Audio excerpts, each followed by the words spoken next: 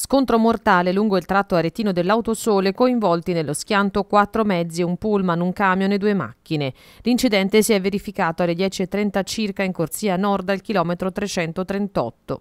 Nello schianto, le cui cause sono ancora al vaglio della polizia stradale, ha perso la vita il conducente dell'autobus che proveniva da Napoli ma che non trasportava passeggeri. L'uomo che guidava il camion e che stava trasportando laterizi è stato invece portato in codice rosso a Careggi. Sempre nel tratto aretino dell'Autosole si era verificato poco prima un altro incidente, ma con lievi conseguenze, e nella carreggiata opposta. Anche in questo caso erano intervenuti i vigili del fuoco per liberare i feriti dalle lamiere.